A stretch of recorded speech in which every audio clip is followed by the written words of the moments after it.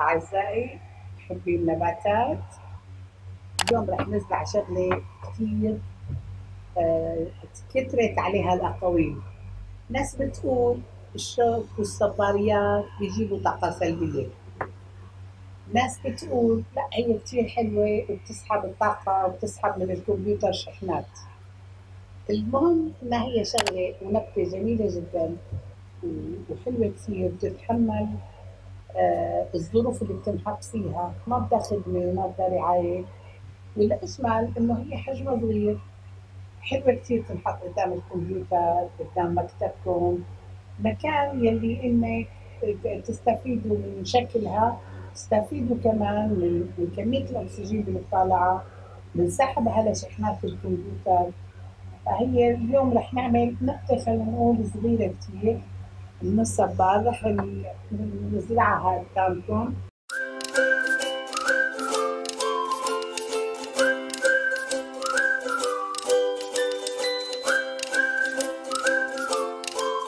أنا الحقيقة زرعت هي من نبتة كبيرة كثير عندي كانت بالحديقة. حاولت أزرع وحدة صغيرة وحطها عندي بالبلكون لأنه كثير كثير عجبني شكلها ولقيتها جميلة. هلا ببساطة شديدة رح نحطها بنبتة مش مفتوحة بقوارة آه، مش مش مفتحة لأنه هي بدها مي كثير قليل وهي جماليتها إنها بتنحط بمكان نفس فكرة الإزاز. بتنحط بمكان آه، ما يكون شغلة زجاجية ومسكرة تنحط بأي مكان ما تخافوا من انه المي تنزل على المكتب أو على أي شيء أنتم صامدينه. اول شيء برضه رح نحط آه، كرات فيها رح نرمي شوية احجار ملونة.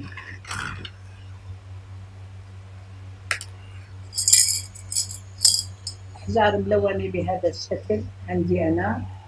رح نحاول ننزلها فيها على أساس نعمل الهدف من هذا الموضوع نعمل طبقه صغيرة يرتفع البوتيموس أو التربة عن سطح الزجاج اللي تحت.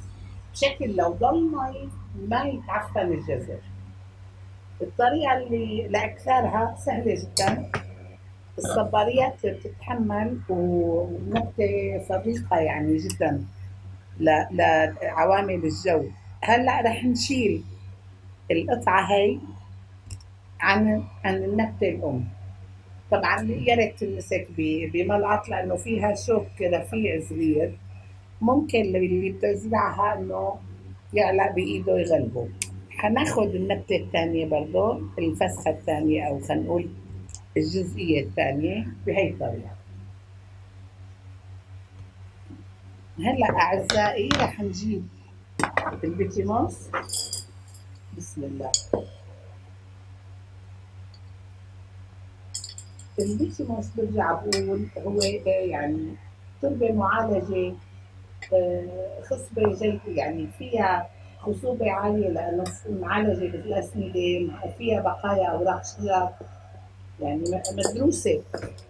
هلأ اللي عنده تربه حمراء من تربه بلدنا عادي ممكن يزرع فيها. بس هي هي مسامات التربه بتبقى أوسع عن النبته وحن. وممكن ينخلط.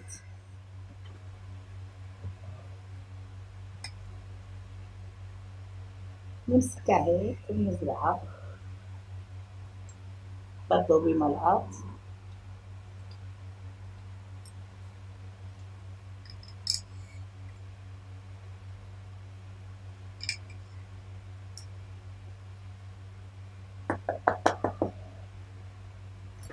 هلا هيك زرعناها نتركها لتاني يوم.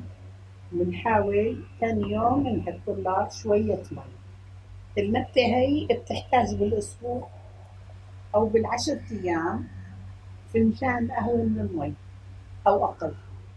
وطبعا ممكن تحطيها تحطوها بالبلكون ممكن تحطوها بالمطبخ على مكتب. وين ما حبيتي تحطيها هي بتتكيف مع البيئة اللي بتنحط فيها. بتمنى الموضوع يكون عجبكم. بتمنى تجربوا تزرعوا تعطوني تجاربكم. تقولوا لي إذا كان عم تنجح معكم أو لا. بتمنى أشوفكم على خير.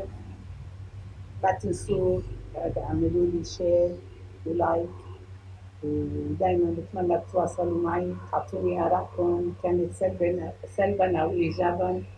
ويا ريت اللي عنده نكتة يحكي لنا عنها على أساس نحكيها لأصحابنا حبايبنا. أتمنى أشوفكم على خير